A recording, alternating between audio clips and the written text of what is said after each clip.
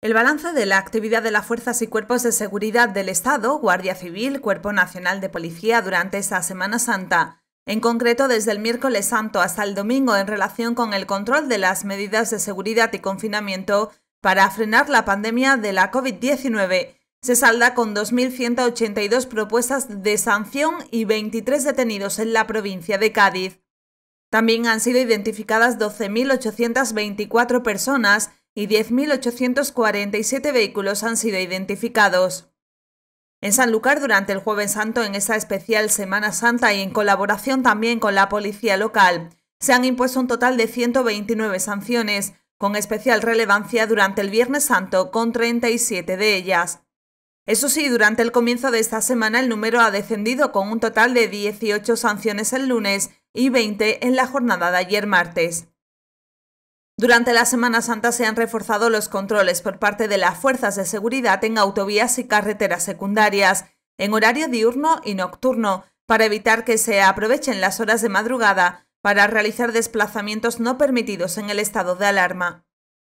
Los agentes han comprobado que se cumple la normativa asociada al estado de alarma en lo concerniente a la movilidad, de manera que las salidas fueran las que correspondían a trabajos esenciales, desplazamientos para recibir asistencia sanitaria, adquisición de bienes de primera necesidad y habituallamiento o el paseo de las mascotas, entre otros supuestos.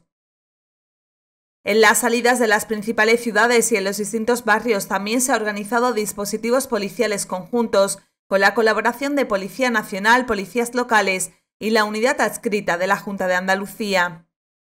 En los municipios, las distintas policías locales y la Guardia Civil también han reforzado los controles en las calles con el objetivo de reducir la movilidad y el cumplimiento de las medidas de aislamiento social.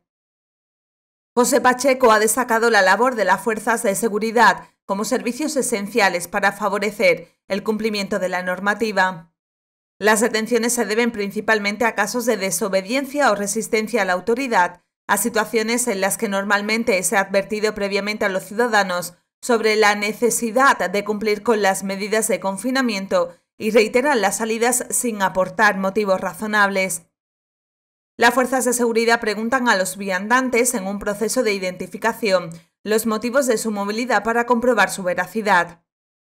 De igual modo, continúan realizándose distintas intervenciones para prevenir episodios de violencia en el ámbito familiar.